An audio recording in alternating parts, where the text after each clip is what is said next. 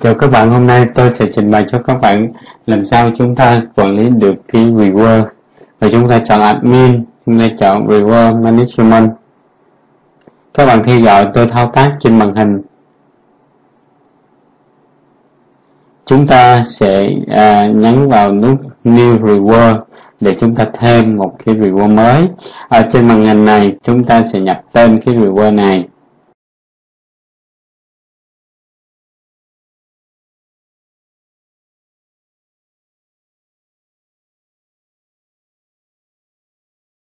và quy định những khách hàng nhận được cái phần thưởng này à, sẽ có cái số điểm tích lũy tối thiểu là 100 điểm. Và chúng ta cũng nhập mô tả chi tiết cho reward này. Để active thì chúng ta sẽ click vào cái option là activate. Và để phần thưởng cho cái reward này chúng ta có thể định nghĩa là giảm 30% trên cái tổng giá trị hóa đơn mà khách hàng thanh toán.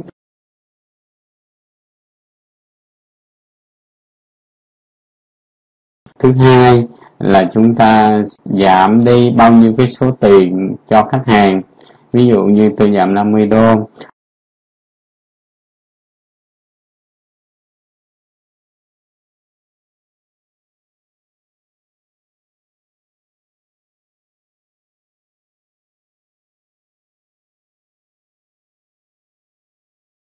Hoặc phần thưởng uh, thứ ba uh, khách hàng có thể sử dụng miễn phí à, một trong cái nhiều dịch vụ mà chúng ta định nghĩa để làm trường hợp đó thì chúng ta nhấn vào nút free item.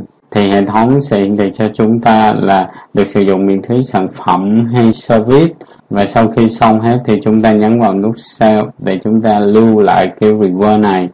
Và hiện tại reward này đang hiển thị trên màn hình.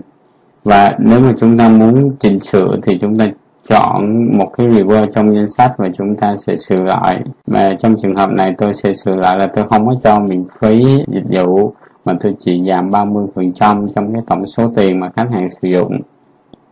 Và sau đó nhấn nút save để lưu lại.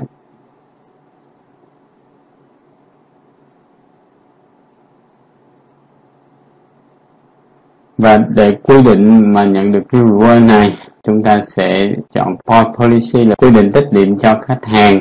Có hai cách tích điểm là cách thứ nhất là sử dụng bao nhiêu tiền sẽ tích lũy được bao nhiêu điểm.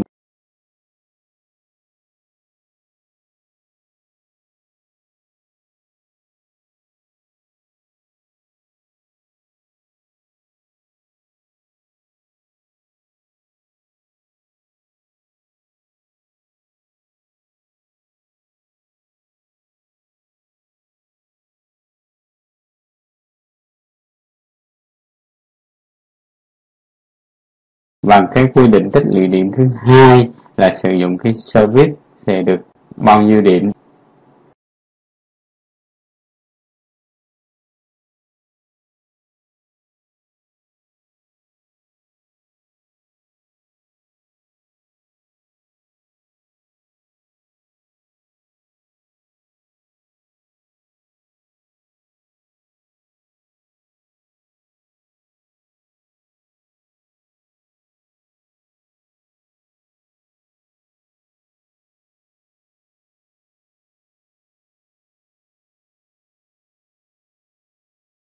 Và chúng ta nhấn nút Save để lưu lại những cái quy định để tích lũy điểm.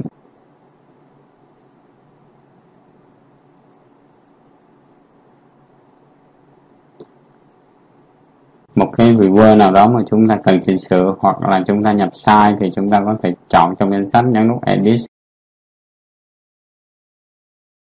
Sau đó chúng ta nhấn nút Delete để để xóa đi cái reward mà chúng ta vừa nhập sai.